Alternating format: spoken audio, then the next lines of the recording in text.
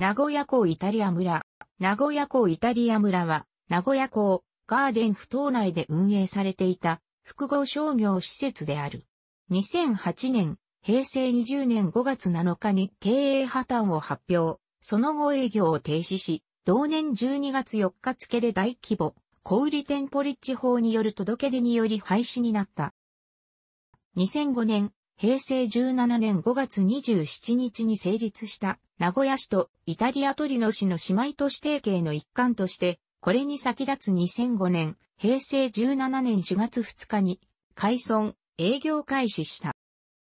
セラビホールディングスと名古屋港管理組合による PFI 事業であり、名古屋港管理組合が建築物オーナー、セラビホールディングスの子会社である名古屋港イタリア村株式会社がデベロッパーして開発された。名古屋港イタリア村、社長、田中はじめは、セラビホールディングス、社長、若杉ジョージ参加のセラビリゾートが運営していた複合商業施設である。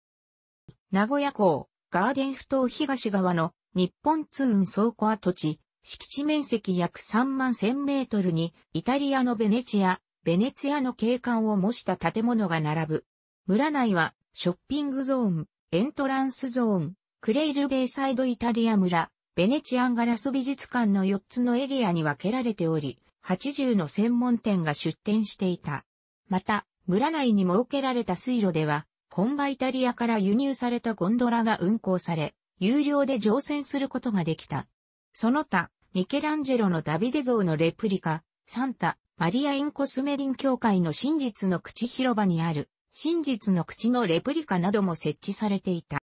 開村当初は、基本的に無料で入場することができたが、2005年、平成17年4月23日から、土日祝日の入場に限って、名古屋港イタリア村500円クーポン券の購入が必要になった午後6時以降は無料。ただし2006年、平成18年11月23日から再び、クーポン券購入は不要となっていた。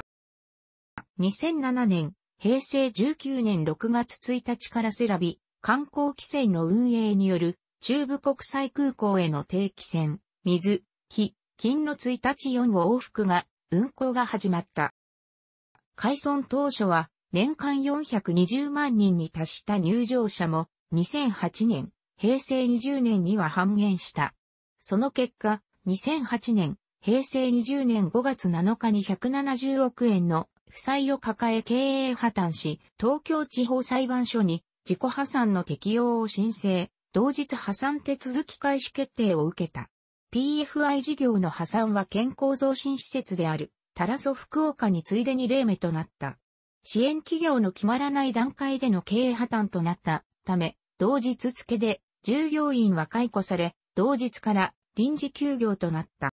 2008年、平成20年5月9日に、負債の返済に充てるための在庫品処分セールを5月10日から5月18日まで行うことが、同村の破産管財人より発表された。この在庫品処分セールの開催のため、解雇した従業員のうち40人を一時再雇用。在庫品処分セールは初日の5月10日からレジ待ちの行列が1時間待ちの大盛況となり、5月13日には在庫品が底を突き終了した。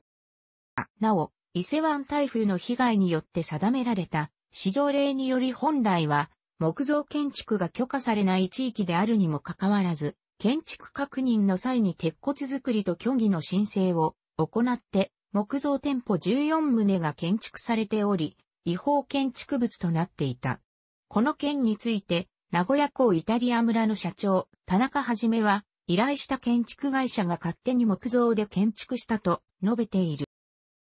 その後も建物は残ったままになり、2014年、平成26年5月からは、コスプレイベントの会場として利用されるようになったが、同年12月に解体することが決定した。これに先立つ同年10月15日には、名古屋港管理組合が跡地の再開発事業者の公募を開始した。その後最優秀提案者が選定されたものの、辞退したため、再開発計画は白紙に戻った。跡地では、建物の撤去作業が進められ、2016年、平成28年2月から跡地の暫定利用者の募集を開始した。その後、同年7月15日にイタリア村跡地の一部に立体巨大迷路やドッグランを併設したベキュー城、ハーバーガーデンがオープンした。この施設は2019年、平成31年3月末までの期間限定で大日本印象が運営している。同村名称で、チッタ DI 村の、チッタディムラーノと呼ばれるアウトレットゾーンのエリア、イタリアのブランドの医療、雑貨、服飾及びアイスクリームやクレープなど飲食類を販、売る、専門店が22店舗存在した。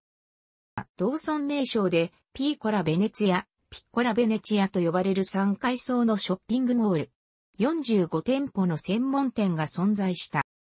クレイルベイサイドイタリア村は、クレールグループが運営するオーシャンビューウェディングをテーマとしたゲストハウス型のウェディング施設。同村海村から遅れ2005年、平成17年6月5日に、メインのグロリオーザ、デーフラーリ教会をイメージする独立型教会サンタ、マリアチャペルが完成した。披露宴会場は、名古屋港を一望できるロケーションで、同年8月20日にオープン。イタリア村の閉鎖後も、クレイルベイサイドとして営業を継続している。ベネチアンガラスを展示した美術館。美術館の周りには、ミケランジェロのタビレ像のレプリカや、真実の口のレプリカが設置されていた。イタリア村の売りの一つである、ゴンドラ遊覧は、本場イタリアから輸入されたゴンドラでイタリア村内の水路を遊覧するもので、開村日の4月2日はゴンドラに乗ろうとした利用客で1時間待ちの行ができた。ゴンドリエーレ、ゴンドラの先導もイタリア人が務め、本場ベネチアと変わらない雰囲気が味わえた。楽しくご覧になりましたら、購読と良いです。クリックしてください。